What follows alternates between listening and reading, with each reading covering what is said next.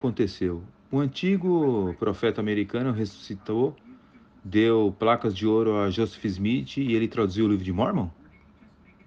Ou ele mesmo inventou essa história?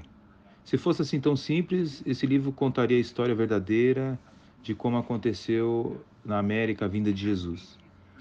Athanasius Fischer, nascido em 601, 1601, foi um padre alemão e, para escapar das brutalidades da Guerra dos 30 Anos, mentiu sobre a sua capacidade de traduzir hierógrafos egípcios antigos. Ele foi transferido para Roma, recebeu uma posição acadêmica de prestígio e foi designado para trabalhar nos muitos obeliscos que haviam sido saqueados do Egito. Fischer manteve sua mentira por 40 anos, inventando uma língua egípcia reformada baseada em manuscritos fictícios supostamente escritos por um linguista judeu, parte egípcio, que ele também inventou, Nefe.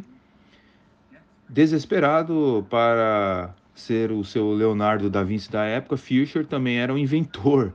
Suas invenções ficaram famosas, bolas redondas, feitas de latão, de vidro. Eles continham ponteiros, escritas laterais, operando sob o princípio de magnetismo espiritual. Ele publicou mais de 40 livros repletos de ilustrações cuidadosamente gravadas em centenas de placas de latão e latão dourado que foram resumidos e traduzidos para várias, vários idiomas. O engano de Fischer foi descoberto antes de sua morte, o que selou a sua reputação como o professor e linguista charlatão de maior sucesso que o mundo já conheceu. 150 anos depois, no norte do estado de Nova York, Joseph Smith apresentou o livro de Mormon como se fosse a verdadeira base da antiga América. Surpreendentemente, o personagem principal da história de Nefe, que falava hebraico, mas escrevia em egípcio reformado. Ele supostamente viajou de Jerusalém para a América, seguindo os ponteiros e fusos instruções escritas nas laterais de uma das bússolas espiritualmente magnéticas de Fisher. Mormon, outro nome próprio da vida pessoal de Fischer, aparentemente resumiu e gravou a história de mil anos de Nefe e seus descendentes em placas de latão de ouro.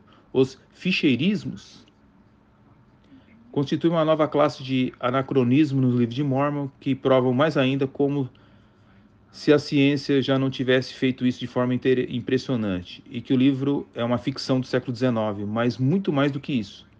Ajuda a revelar o verdadeiro caminho pelo qual o livro foi construído, como quase todos os americanos, em 1826, Smith ignorava totalmente Fischer. Ele não poderia ter percebido que o manuscrito perdido em sua posse era a tentativa de, uma, de um linguista muito bem educado de compor uma é, paródia americana da vida de Fischer, que rapidamente evoluiu para um burlesco da Bíblia.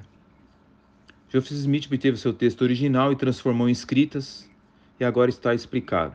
Agora sabemos quem escreveu o texto original porque ele introduziu os ficherismos dele e como eles passaram pelo pretento processo de tradução de Smith, escapando completamente de sua atenção. Este livro revive, resolve e remenda várias teorias incompletas sobre o livro de Mormon, como foi criado. Ele reúne adequadamente a partir de dados prodigiosos e análises exaustivas, uma teoria grandiosa e unificadora. Isso compõe um fim, um mistério, um mistério de 200 anos sobre o livro de Mormon.